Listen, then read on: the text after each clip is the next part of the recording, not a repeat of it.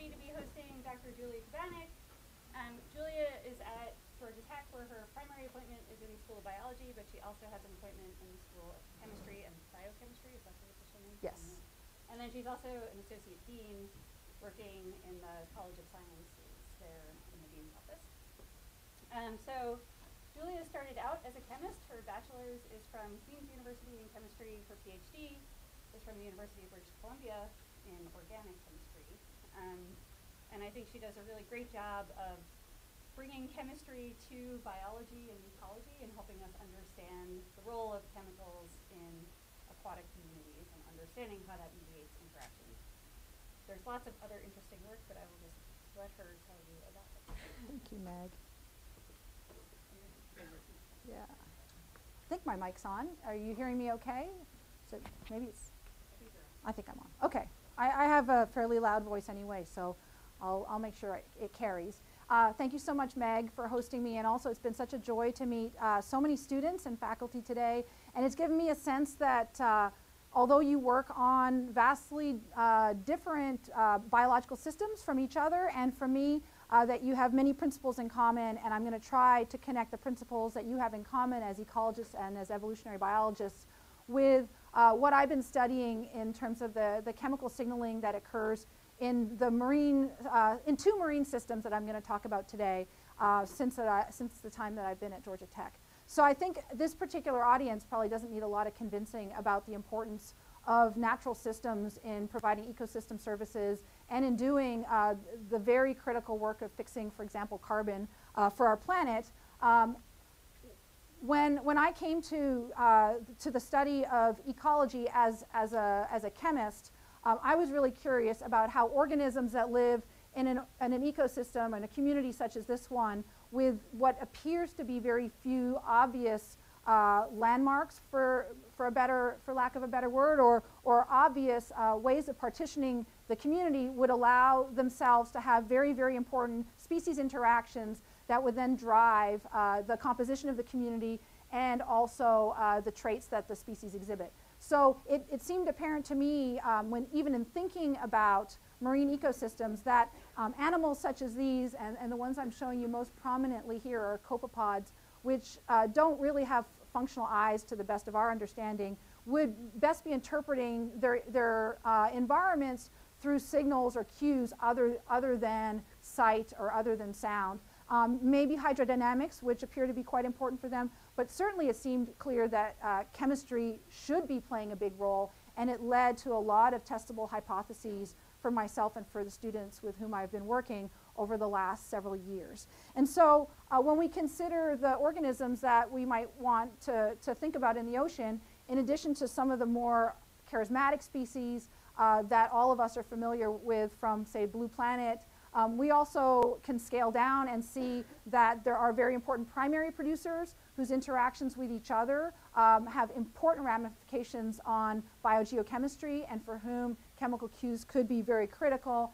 And also we scale down even fewer. Many of you were involved also in studying bacteria and the interactions that bacteria have with organisms both larger and smaller than themselves. And so what I'd like to convince you of today is that organisms such as these uh, that live in, in these worlds that we might otherwise think of as featureless really are conveying and interpreting a lot of information uh, based on the, the chemical landscape around them. And I'm going to start with illustrating this uh, with an example from a colleague of mine at Georgia Tech. So this is not work that I did. Um, and what we're going to see here is uh, a male copepod following a female copepod in the lab in a three-dimensional space of an aquarium. And what you're going to see is, uh, is uh, data from their behavior in, in the tank. And there's one male and there's one female. And the male is following the female. And what I'm going to show it twice so that it's really clear. But um, what you see is that the female is swimming sort of upwards in the tank at a low speed represented by the light blue color. And the male is following. And then when the male, oh, we don't want to get to that one yet. Um, let's go back one. When the male when the male encounters her trail, whether that be uh, information that she's left behind through a hydrodynamic wake or whether that be through something she's exuded into the water column, he changes his behavior dramatically and accelerates. So this scale here goes from a slow blue to a very fast reddish brown. So we'll do it again just so that we're all on the same page about this male near the bottom who's minding his own business, and then oops, he happens to go where she's been, and he knows exactly how to find her.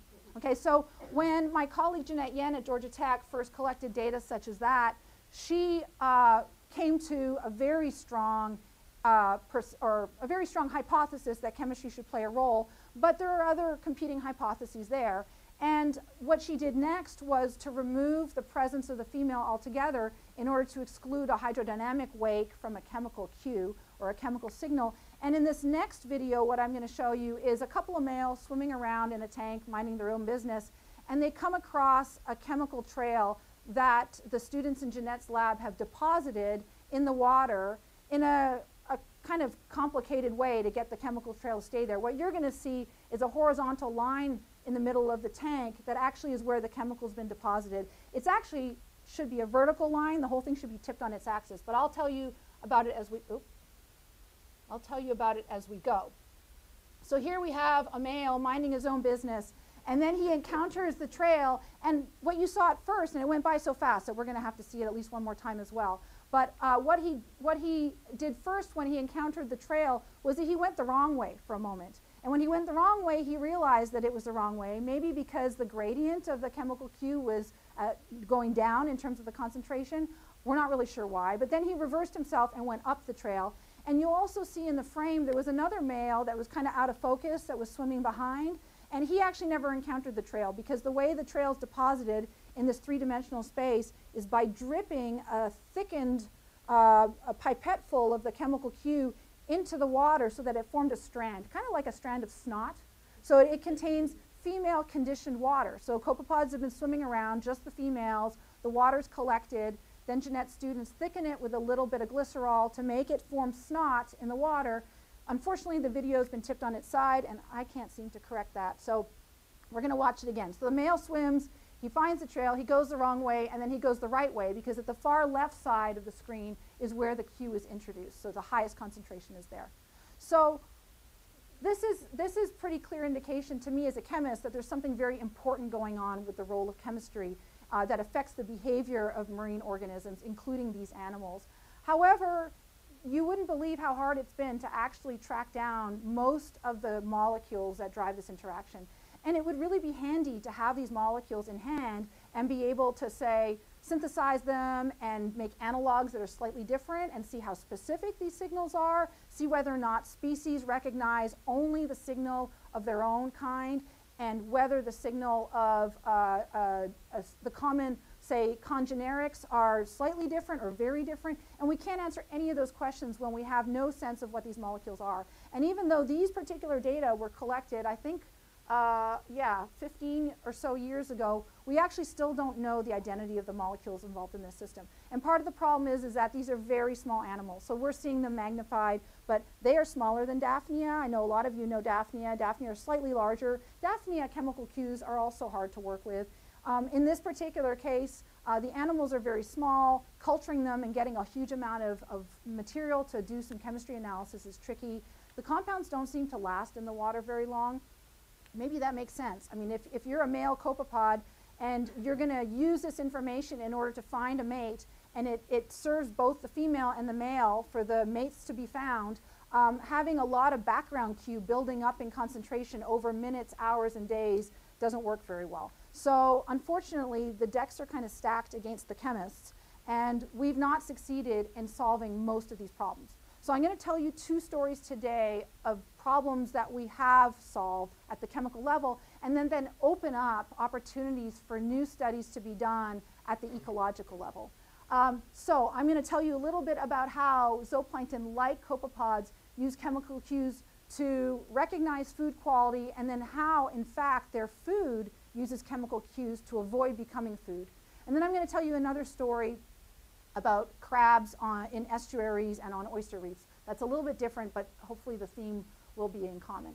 So this particular story here originated with some, um, some friends of mine in Sweden where I had participated in a PhD defense back in 2006 for a student named Eric Selander, and he had started some work from an observation that copepods seem to prefer non-toxic foods over toxic foods and that he had made the dramatic uh, observation that the toxic foods actually become more toxic when the copepods are around. And as an ecologist, he could see that this could have the potential to really affect large scale ecological processes because if toxic algae become, say, 5 to 20 times more toxic when copepods are in the water than when copepods aren't in the water, that really affects the ecological environmental impacts of red tide blooms and harmful algal blooms which are made up of organisms like this one here.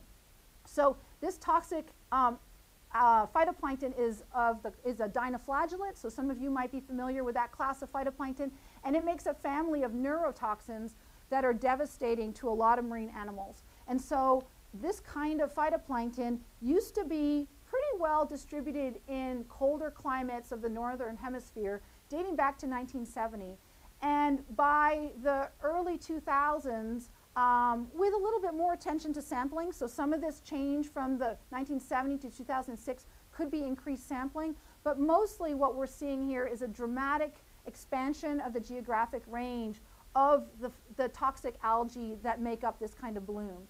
And not only that did the algae spread to warmer waters, but the algae also hopped the equator and ended up in the southern hemisphere. And there are very good data from geneticists studying uh, these phytoplankton blooms in Adelaide Harbor that found that the genotype was absolutely identical to a harbor in Japan where the ships had just brought ballast water from one location to another. So there's human-induced change here in terms of how these algae are occurring around the world, and they're causing problems for shell fisheries, and they're killing wildlife. And so people care about this for reasons other than the fundamental scientific questions but they're part of a phenomenon that uh, exists around the world whereby a lot of marine algal species, so single-celled phytoplankton, um, for the most part, produce a diversity of molecules. So those of you for whom organic chemistry is not too far in the distant past, so that would be the students especially among you, um, might recognize how we do stick figures in chemistry to represent molecular structures. What these molecules have in common is that they're carbon-based, so they are what we call organic molecules. They have a lot of carbon atoms, they have a lot of oxygen atoms, uh, and of course hydrogen atoms. They occasionally have other atoms like nitrogen, um, but not always. They often have rings, but the rings can be of various different types. So really, from a chemist's point of view, this is a large diversity of chemical types that affect uh, marine organisms and also um, animals like us in very, very dramatic ways. So many of them are neurotoxins acting on uh, ion channels in our bodies, causing paralysis, sometimes acting on other kinds of receptors in fairly specific ways. And for the most part, with a few exceptions, we have no idea why algae make molecules like this. These are not waste products. In some cases, they make up several percent of the dry biomass of the phytoplankton that make them. They're not made by bacteria, they are made by the algal cells themselves. So we have a lot of mysteries about what makes algae toxic and why algae are toxic, and those are only beginning to be answered. So what Eric Selander did in Sweden in the early 2000s was he asked, first of all, he made, he made the observation um, through this experiment that I'm about to show you that the presence of copepods makes algae more toxic. And then I started collaborating with them to see how the presence of copepods made the algae more toxic. So what he did was he caged copepods in um, a beaker in which uh, there were the toxic phytoplankton both inside the cage with the copepods and outside the cage with the copepods. And he compared these to a bunch of controls which had the algae inside and outside the cages, but no copepods present. And then what he did was, after allowing the copepods to feed for a period of time, he analyzed the toxicity of the algal cells outside the cage, not the toxicity inside, which could be those cells that didn't get grazed, and if there's selective grazing on non-toxic over toxic cells, you could end up with more toxic cells left over inside the cage just from selective feeding. He analyzed the toxicity of the cells outside the cage that were undisturbed by the actual grazing pressure, but that could tell something was going on, potentially, and sure enough, he found dramatic effects on their toxin content. That's for those cells outside the cage. So essentially, a typical algal cell outside the cage had a total toxin content of five femtomoles per cell. And that's the sum of a family of toxins that belong to this group that cause paralysis. But when copepods of these three different, uh, three different species, so they belong to three different genera, were incubated inside the cages. They cause varying degrees of toxin induction. And so his hypothesis was that the algae are becoming more toxic, first of all, in order to become less palatable.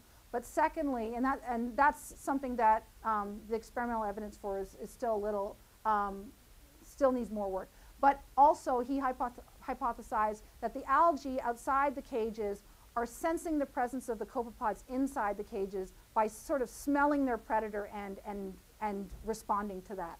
And what he wanted to work together on was identifying what is it about copepods that is making this happen.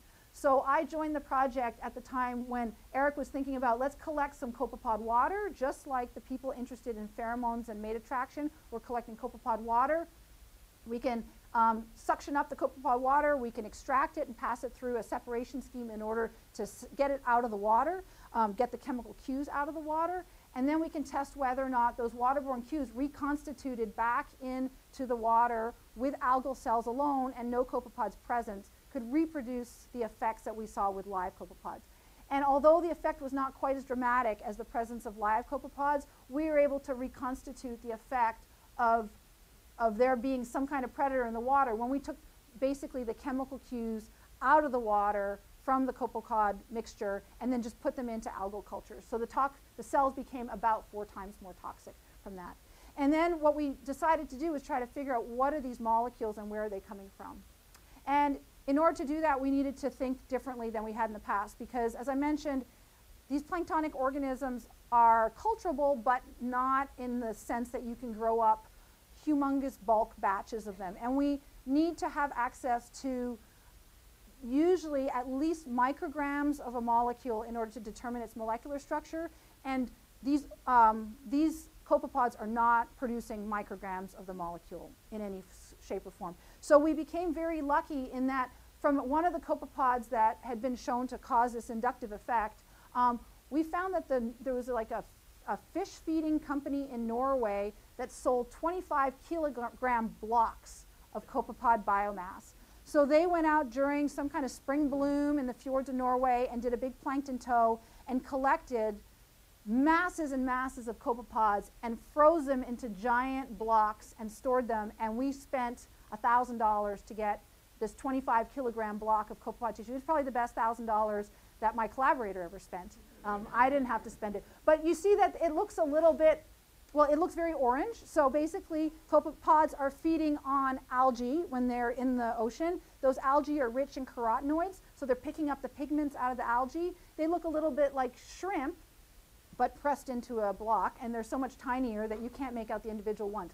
But this 25 kilo block was effectively one species. It was like 99.99% one species of copepod. So that was what allowed us to actually determine the identity of the molecules that were responsible. And I'm not going to show you a lot of chemical structure determination. Um, I'm very interested in chatting with anybody who wants to about how all that's done and what's involved. But basically, we identified a family of copepod molecules that are probably being excreted with their poops, so their fecal pellets, um, that sort of have the hallmark of this part of the molecule here with the sulfonate group and, and this part that is really a hallmark of digestion. So we have that same kind of um, chemical group attached to some of the molecules in our body after they've gone through our liver. And so this really looks like a digestive process of copepods. Copepods, in my estimation, have no get, derive no benefit from advertising their presence to the algae, right? But algae derive a lot of benefit from determining that their predators are nearby and if they can upregulate their toxicity in a way that's meaningful and that prevents the copepods from wanting to eat them, this could be a very interesting strategy on the algal, on the algae's um, uh, side.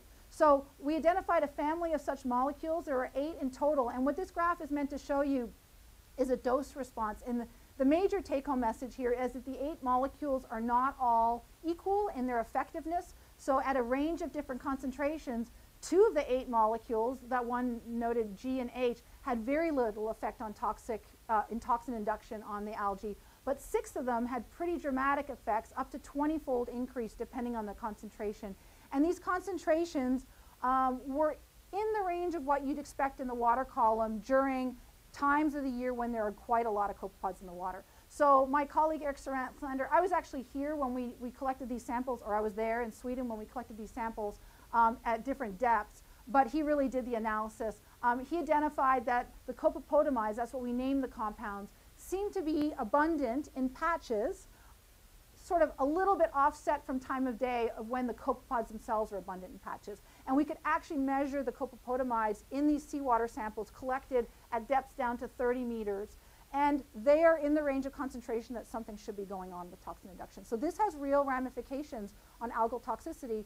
And one of the reasons I think that this is, is, is valuable to oceanographers is for a lot of years, people studying these kinds of algal blooms and have, have been observing highly variable toxin patterns have thought that those toxin patterns um, are modulated by nutrient limitation of the algae, by season, and sometimes even by things like salinity levels. So by very, um, sort of by bottom-up forces. And what we're suggesting here is that maybe an even larger modulator of algal toxin uh, concentration is really the predator pressure, the predation pressure that's on them, and they're using chemical cues from the predator to understand this. Now, what I didn't mention when I described um, that we discovered this family of compounds that's unique to copepods and, and it wasn't previously known, even though we could right away go out into the ocean and find these molecules in the water, nobody had ever noticed them in the water before.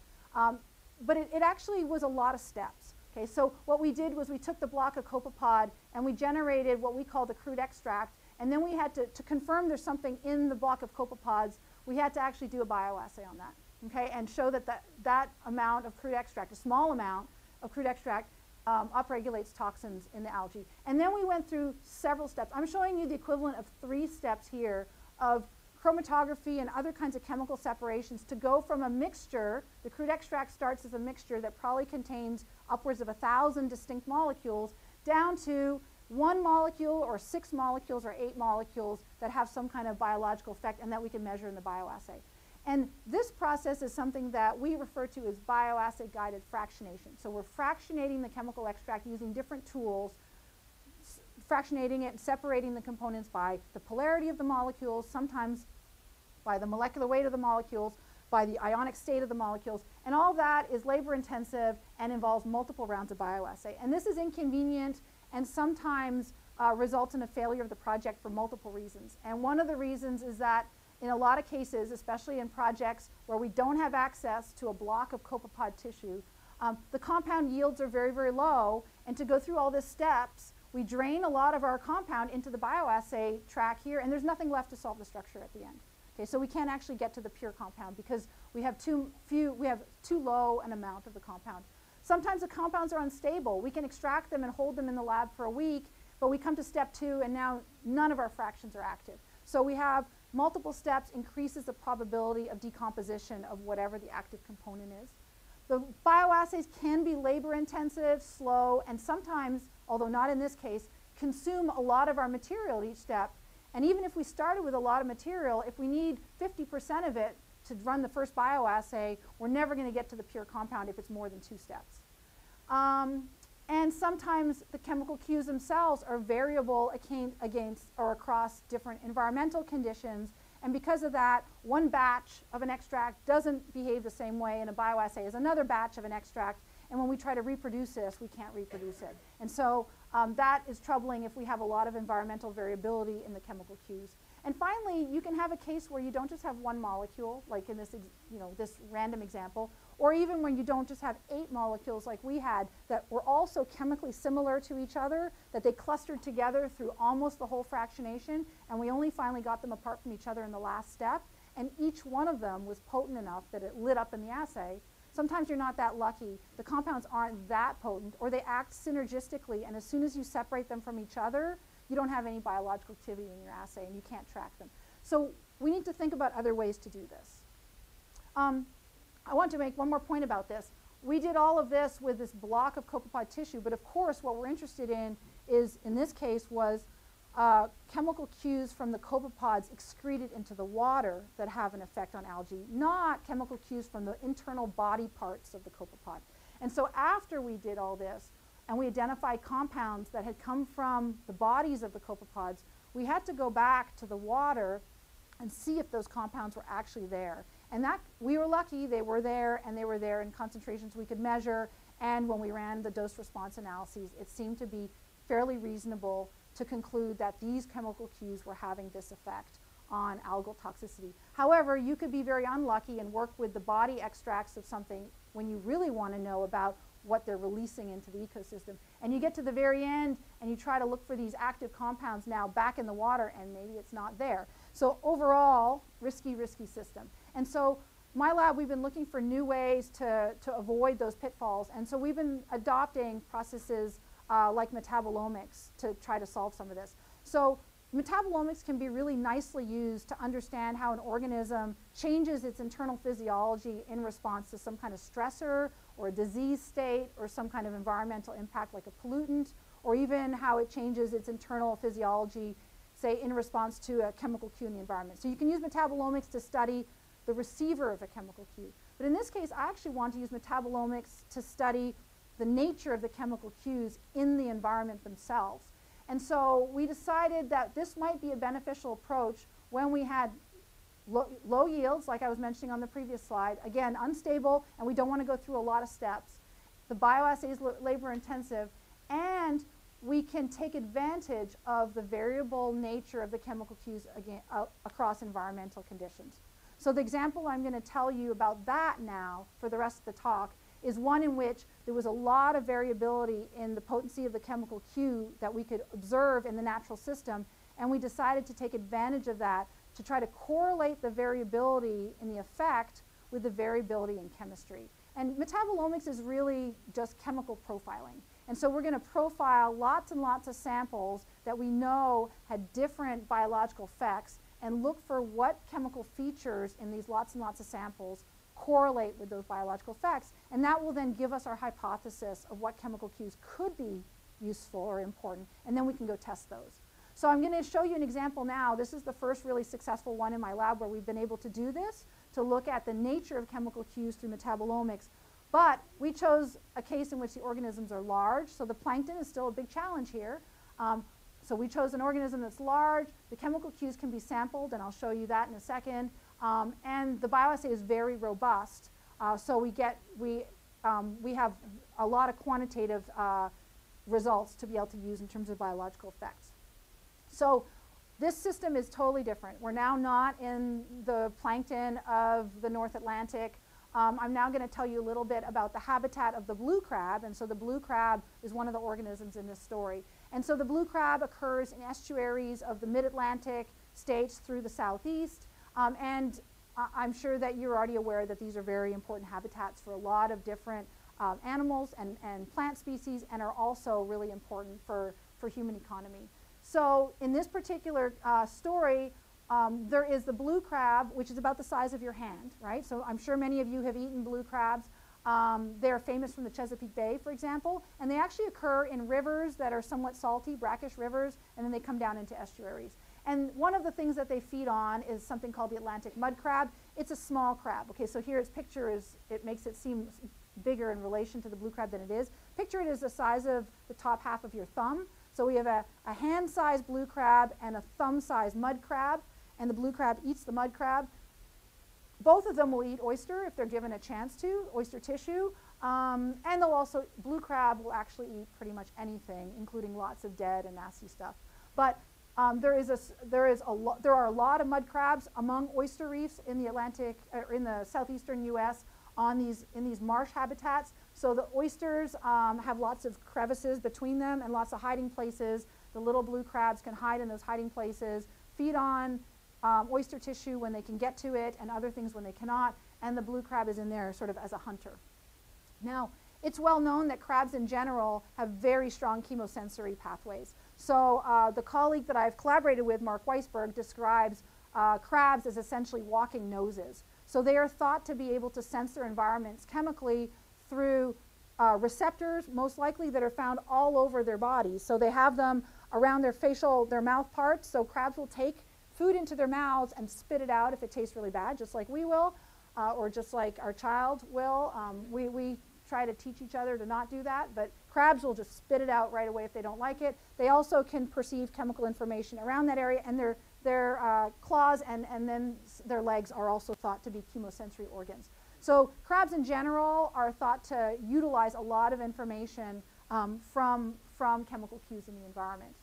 Now, in what, what had been observed by my collaborator Marc Weissburg um, in his, uh, in, by one of his graduate students who, who did a lot of field work and uh, mesocosm work is that when in the presence of blue crabs, um, these little mud crabs will hide, and they will hide um, between whatever shelters you offer them, whether it's a piece of PVC tubing or whether it's an oyster shell.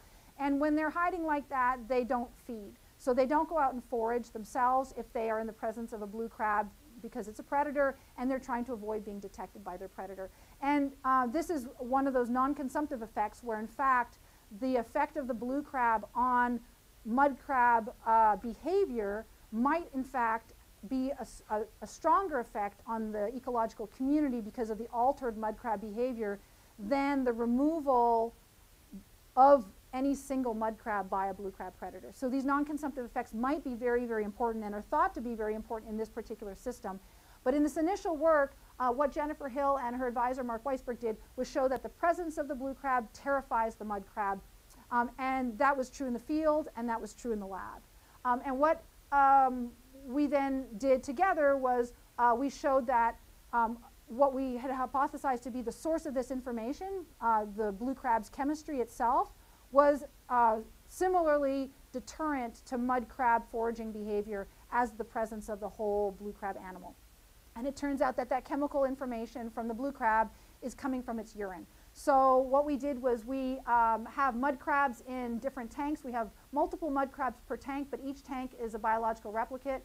And I will, when I look carefully at this photo and notice that all these ones labeled green are in the below and all these ones labeled red, I got terrified that we had a giant case of pseudo-replication going on here. But I have been assured that we did intersperse our replicates. So um, basically, you add some blue crab urine to a tank with mud crabs, and the mud crabs hunker down, stop feeding, and hide in whatever refuge you provide them with. And that, um, the amount of urine, if you put more urine in the tank, it has a larger effect than if you put just a little bit of urine or if you don't put any urine. And so in all of the, the data I'm going to show you about this project, our measure of fear in the mud crab is always how much food did it consume. And if it consumed less food, the mud crab itself, that means it's more scared because it's spending less time foraging and more time hiding. So here, a high rate of feeding, food, a large amount or proportion of the food consumed by the mud crab means that there's no effect of the control on mud crab behavior, or this is the background pattern of how mud crabs like to forage. Um, they eat this amount of the food in whatever time period. I think it's like, it depends on the time of year because crabs don't always want to eat, but between 6 and 24 hours. And then when we dial in larger amounts of urine, they get scared and they hide. Um, and this was the critical part that made us think that we could access the chemical identity of this cue for metabolomics. Blue crabs fed mud crabs are much, much scarier in terms of the, how their urine smells to mud crabs than blue crabs fed oysters. Okay? So mud crabs are responding to something qualitative in the urine that differs depending on what the blue crabs ate. And so this became our variable environmental condition that we could then manipulate to go search for the compounds. So our hypothesis was that either the urine from blue crabs fed mud crabs had totally different compounds in them and they were much more potent than the urine from blue crabs fed oysters, or that the compounds in the urine from blue crabs fed mud crabs had more of certain compounds that were super scary to the mud crabs than did this urine here. Okay, and so we are going to use metabolomics to test both of these hypotheses simultaneously. So what we did was we generated a bunch of urine samples. I think for this particular analysis here, I believe there are 29 samples, 10 of one treatment and 9 of the other. At different times throughout the project, we generated a whole bunch more samples as well.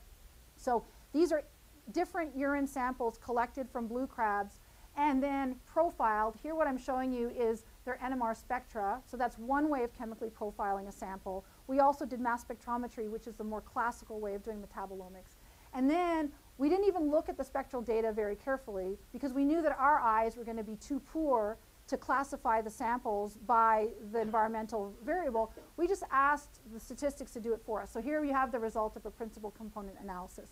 And so um, for those of you who, when you studied chemistry um, in your undergraduate days and you might have had access to something called NMR spectroscopy to characterize organic molecules might be familiar with what this looks like. So these are NMR spectra where you have these different values along the x-axis that we call the chemical shift.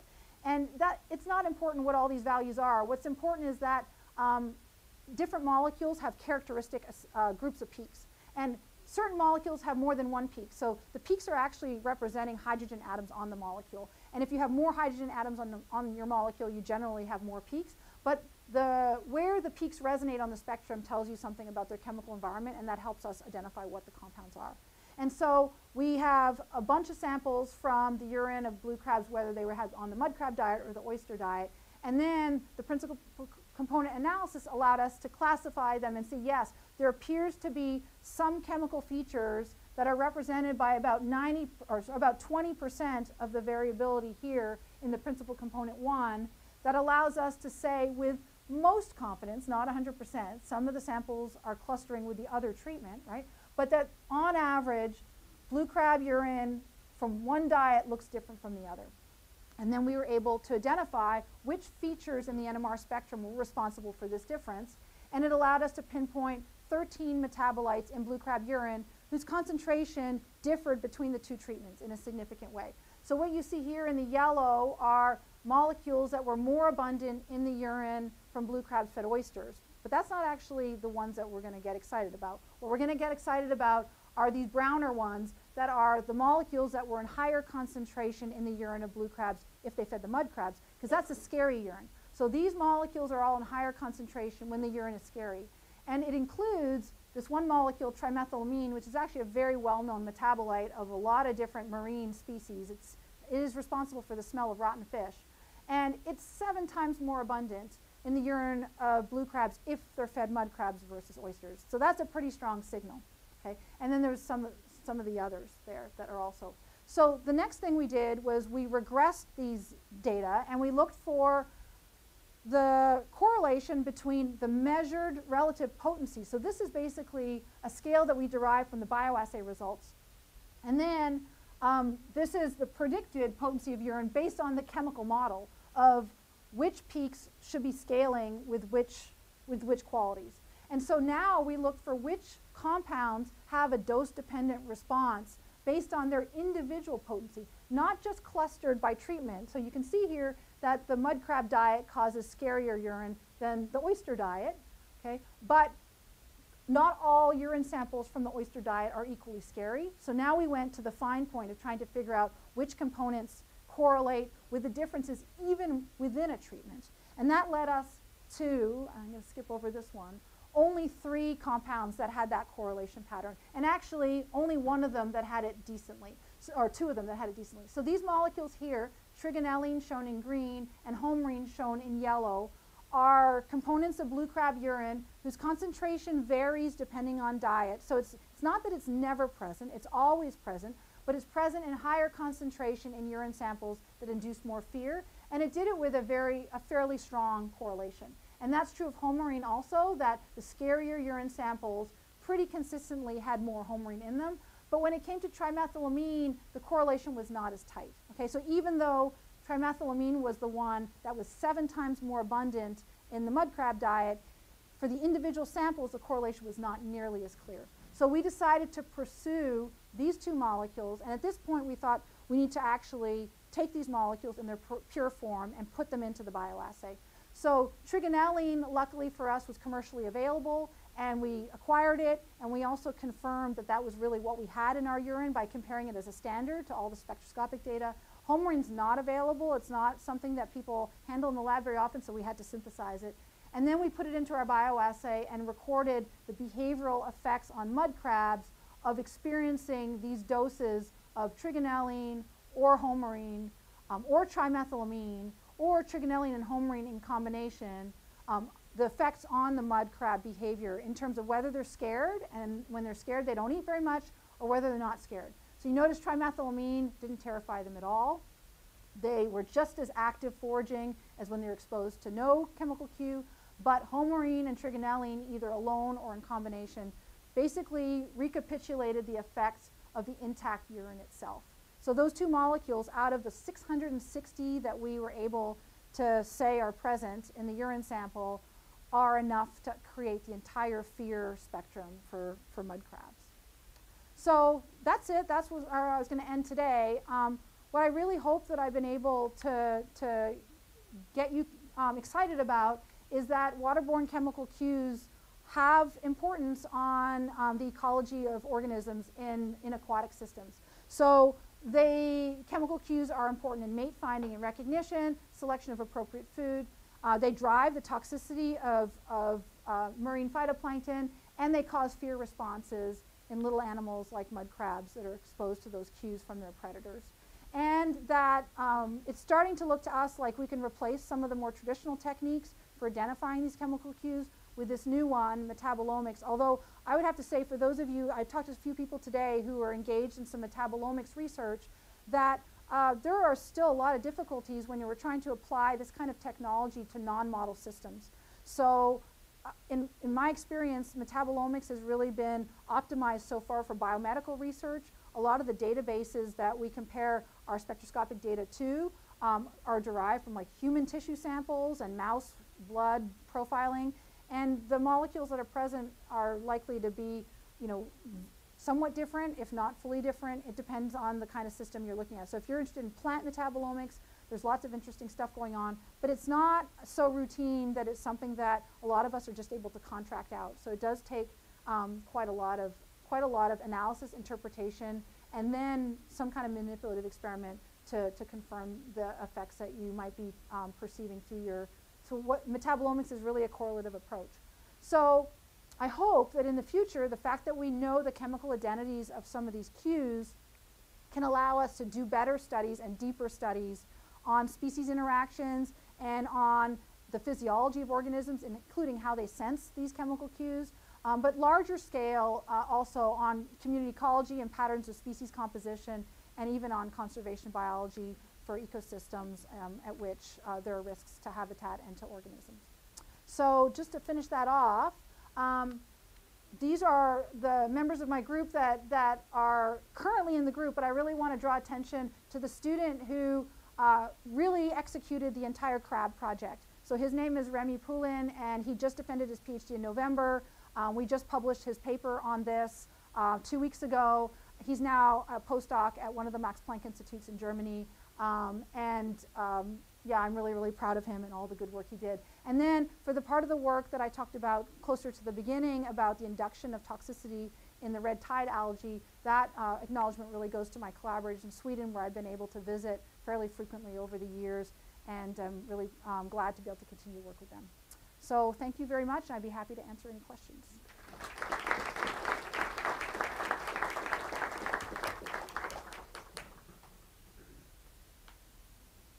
Yes. Great talk. Uh, Thank you. what about the effective dose?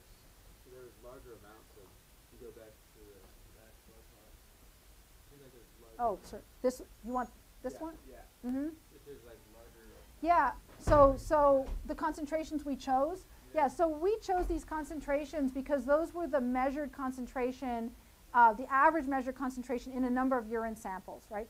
Um, so the natural concentration of trigonelline and homarine is not the same in urine, so we, we decided to test them at the doses at which they occurred, and trimethylamine we tested at the dose at which it occurred. However, and actually, I, I need to update this slide. This, there was a decimal place error here. This one actually is 42, which is actually very close to that one. So, um, however, this is just testing at one dose. And even though you expect dose responses to positively correlate, right, you don't know that they linearly positively correlate. So I wouldn't be comfortable saying that, for example, this molecule is much more active than that molecule because it might be that at this point we've saturated the biological effect, right? So what we really need to do if we want to answer that, if we want to say, you know, these two molecules here, trigonelline and homarine, are chemically very similar in structure, which one's more active than the other, we need to do some other kinds of tests. I, I don't, I don't really recognize this as being a very different effect. Um, we've never seen fear induction that goes greater than this, so I, I kind of feel like we're, we're saturating the effect and, and uh, we don't know fully the answer. But clearly, trimethylamine is less active. Yeah. Yes, sir.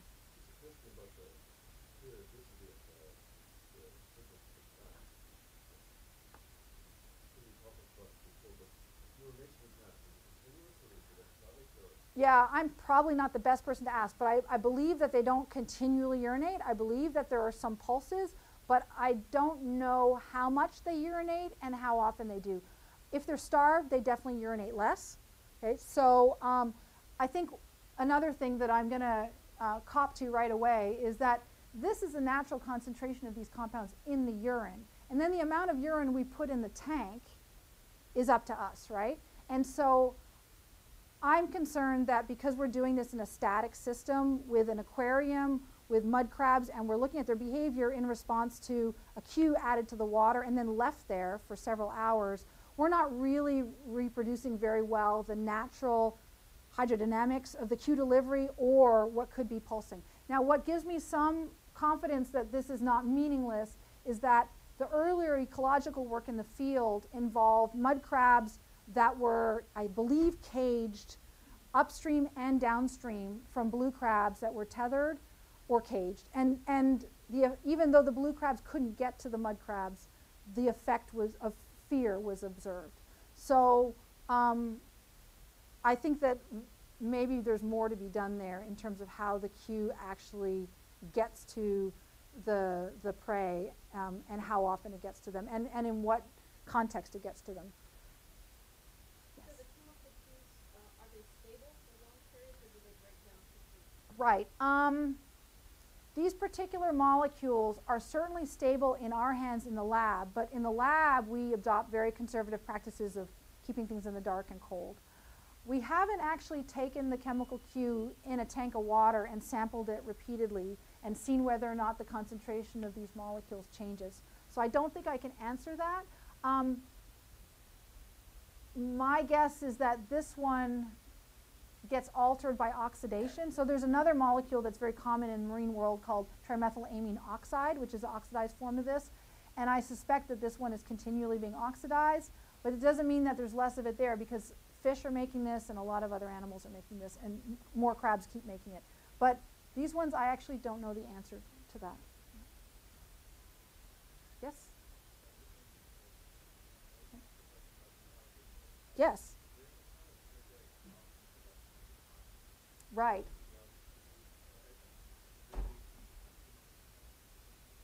Um, yeah.